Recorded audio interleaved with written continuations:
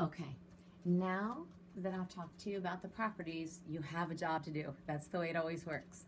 There is a piece of paper that's already labeled and it looks like this. Properties of addition. I drew a nice big one for you up here.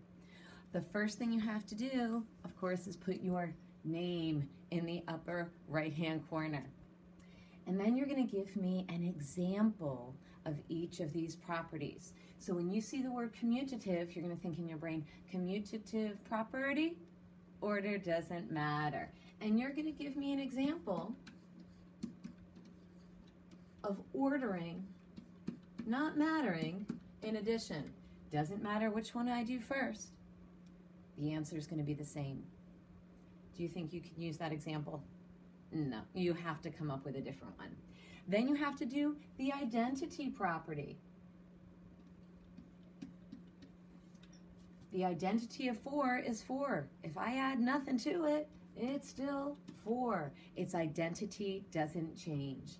And the last one, for the associative property, I have to use, remember, parentheses.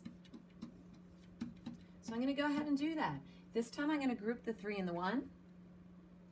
And let's see, this next time, I'm going to group the 1 and the 2. Oops, 3 plus 1 plus 2 does not equal 4. That would be wrong.